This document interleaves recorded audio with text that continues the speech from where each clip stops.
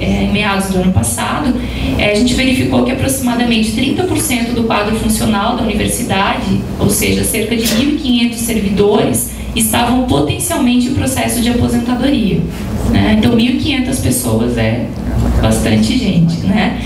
E, no entanto, a gente teve uma grande dificuldade né, em saber o número exato desses aposentandos, porque o ele é feito levando em consideração né, o tempo de serviço na instituição, o tempo de contribuição, a idade, e a gente tem uma dificuldade, então, pelo próprio sistema da universidade, em saber realmente quem são essas pessoas que estão em processo de aposentadoria.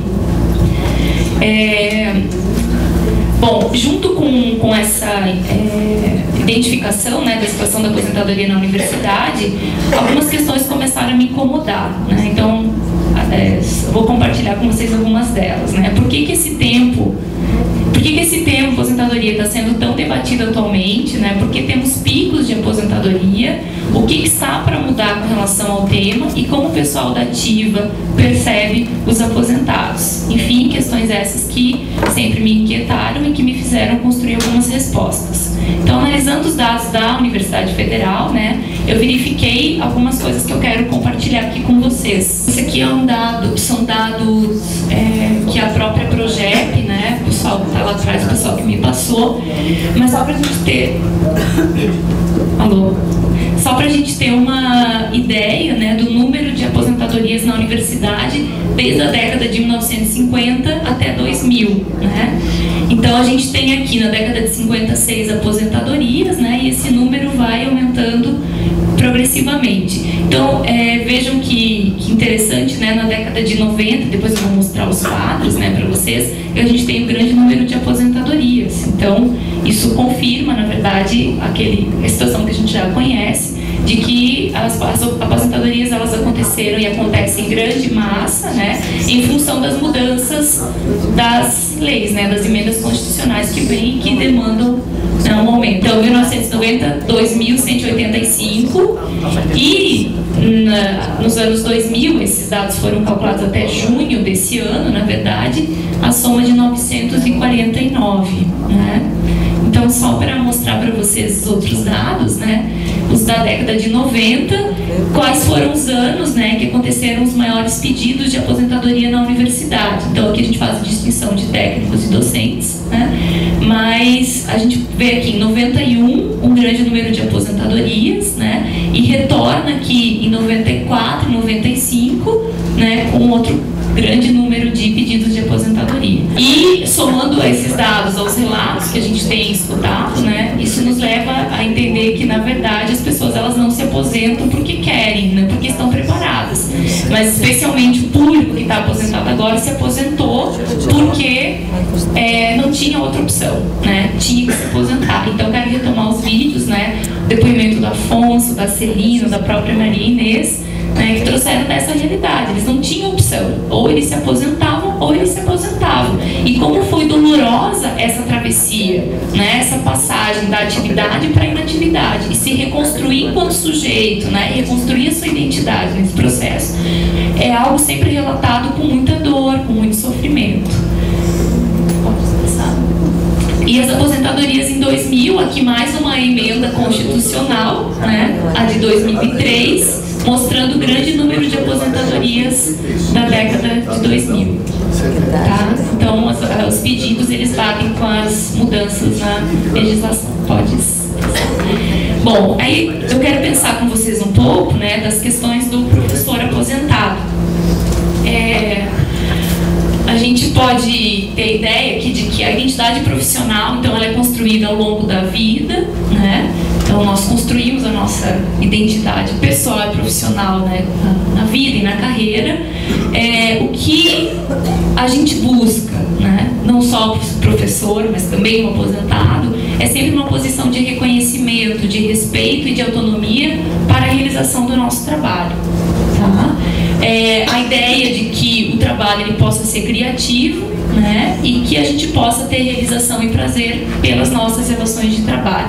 Então, claro que quem está na ativa ainda busca isso, acho que quem já se aposentou buscava ainda busca, né? Porque de alguma forma, acho que pegando, pegando a ideia da aposentatividade, se encontra em atividade, né?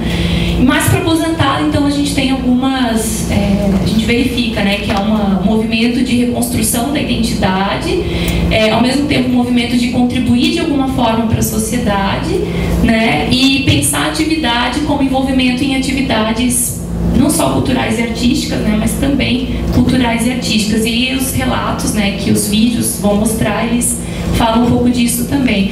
Que já é diferente, né, daqueles depoimentos, se vocês perceberem os vídeos, os, os depoimentos dos professores da ativa, eles trazem a ideia de que eles não vão parar de fazer o que eles estão fazendo, né? A projeção deles para o futuro é continuar dando aula, continuar pesquisando, e a gente pode pensar aí, né, que vida é essa que a gente está... A vida continua. A vida continua, né? Então, assim, viver a aposentadoria, né, como acho que o grupo que vive hoje está vivendo, é uma coisa que para daqui a 10, 15, 20 anos, 30 anos, certamente não será mais realidade. O que a gente tem feito é tentado montar um, uma matriz teórico-metodológica para entender, poder trabalhar, intervir com relação às questões da aposentadoria, tá?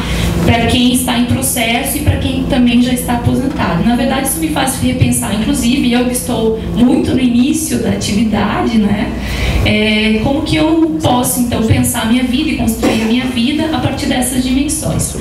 Então, a a aposentadoria envolve né, uma dimensão que é jurídico-legal, né, que é o conhecimento da lei das condições para o pedido de aposentadoria e sempre a ideia de que a gente está buscando garantir direitos. Né. A dimensão econômico-financeira fala da condição né, e lugar do aposentado na economia. Né. Aqui a gente tem que, é, eu acho que sempre retomar a ideia da positividade como aquele que não está economicamente ativo, que isso tem um peso muito forte na sociedade, né, especialmente para quem está em produção, isso acentua, cria e acentua a cisão entre quem é da ativa e quem está inativa. Então a ideia é sempre é, a gente construir as relações pela viabilidade econômica de produção da existência humana. Né? Isso é, fortalece ainda mais a cisão. Né? É, as condições financeiras para a garantia da vida pós-aposentadoria, né? que traz a ideia da redistribuição social na nossa sociedade. É, a dimensão das atividades, ocupação e lazer, que eu acho que daí vem a ideia também da positividade, né? Quem é esse aposentado aí que está em atividade. É, como que eu ocupo o tempo livre, como que eu relaboro a minha rotina que organiza a vida, né? Então, um relato que a gente escuta muito é assim: eu não sabia o que fazer, me aposentei, né? Eu não sabia o que fazer no outro dia, né? Eu ia para. O que, que, que, eu ia fazer? Se eu acordava naquele horário, tinha aquela rotina, pegava aquele trajeto, como é que eu organizo a minha vida? Se eu não tenho mais essa vida. Né? Então tem essa dimensão da reorganização da vida e do tempo, a retomada da atividade como elemento cerceador e fundamental para a relação com a natureza e a sociedade, né? e as relações com a cultura e a arte. Uma outra dimensão é a dimensão da família, das relações sociais, a ideia de manter os vínculos né, afetivos, elaborar e distribuir o tempo de dedicação a essas relações familiares, é, qualidade das relações, o lugar e papel das relações na nossa economia psíquica. Né? A gente não pode imaginar que economia é só do dinheiro, de ter economia psíquica também, né? e ela está sempre em movimento a dimensão da saúde, trazendo os aspectos da saúde física e psíquica. Aqui entram né, nessa classificação que a gente está tentando, nessas dimensões né, estruturar, a ideia do envelhecimento e da sexualidade, que é uma coisa muito negada né, para quem chega numa idade ou para quem está aposentado, é como que eu vivo a minha sexualidade. É, e a dimensão do ser, né? O que, que seria essa dimensão? A gente está aqui é, pensando nas questões da, da, identidade, da transição e da travessia para a condição de aposentado, a elaboração de lutos, né? E perdas, que é uma coisa muito frequente né? nas minhas conversas, as minhas andanças por aí, eu escuto muito, poxa, né? Agora toda, toda, todo mês tem um colega meu lá que vem a falecer, né? E como que isso me impacta, né? Como é que eu vivo essa relação com a morte, com a perda a reelaboração de um projeto de vida, né, pensando em projeções futuras e também na própria carreira, né, Tem algumas pessoas até que trabalham a ideia de uma segunda carreira, né, ou, ou a carreira pós-aposentadoria. A redefinição da condição subjetiva e do lugar social ocupado, né, isso tem a ver com quem sou eu, como eu me ensino nessa sociedade, que valor que eu tenho. A ideia do reconhecimento e do pertencimento a uma dimensão social, né, é, especialmente também pensando as questões de elaboração é, sobre a morte. Tá? Então, para como considerações finais, né? Eu acho que a gente tem que começar a repensar o lugar e o valor da aposentadoria na sociedade. A gente percebe que tem mudanças, né? A aposentadoria não é um processo único, é um processo que sofre interferência das mudanças que a gente vive na sociedade. Ah, elaborar um esquema de análise e intervenção que compreenda a totalidade do tema, sua dialética e suas contradições. Né? Aquele modelo que eu trouxe é um primeiro ensaio, né? faz um ano que eu tenho pesquisado o primeiro ensaio, que a gente tem que né, é, partilhar isso, pensar sobre isso e aplicar para ver se é um modelo que dá conta de entender o que é a dimensão da vida. Né? O enfrentamento das condições de degradação e depreciação da aposentadoria na sociedade, que é o que vocês têm debatido aqui, né, que já tem debatido há algum tempo, na verdade. O enfrentamento considerando o grupo social e a dimensão política do tema, ninguém. A gente vive o movimento de enfrentar tudo isso muito sozinho. Né? Eu acho que à medida que a gente passa a compartilhar as amarguras, as agruras ou até as felicidades da aposentadoria, a gente né, começa a trabalhar o tema de uma dimensão social maior. Né? E, consequentemente, a gente pode pensar numa dimensão política, então, para o tema. É, resgatar a unidade entre ativos e inativos, né? se a gente continuar se reconhecendo como uma classe cindida, né? isso é algo que certamente vai ter um impacto né, para aquilo que a gente vai conquistar em termos de classe. É, repensar a vida, a saúde e o trabalho na sociedade de mercadorias para a promoção da condição de uma aposentadoria mais humana. Se é que eu vou ter aposentadoria um dia, se isso vai continuar existindo, né? Mas aqui eu, eu retomo, eu achei muito é, interessante a fala do IASI ontem, né? Que ele diz assim, a gente não tem que pensar aposentadoria, porque esse aposentado tem que nascer de novo, a gente tem que pensar que vida que a gente leva nessa sociedade. Então, essa colocação é nesse sentido.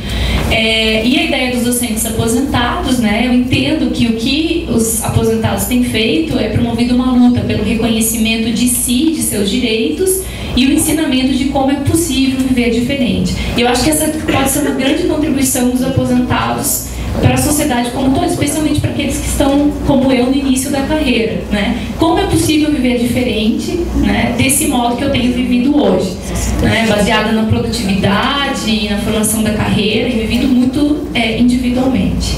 Então, para finalizar minha fala, eu coloco aqui algumas falas, né? eu tenho participado. É, desde o início do ano, das reuniões do GT de aposentadoria, da, da PUF, né, e tenho conversado com muitos é, aposentados informalmente, então eu queria trazer algumas falas deles. Então, nós aposentados viramos aqueles com quem tudo pode ser feito.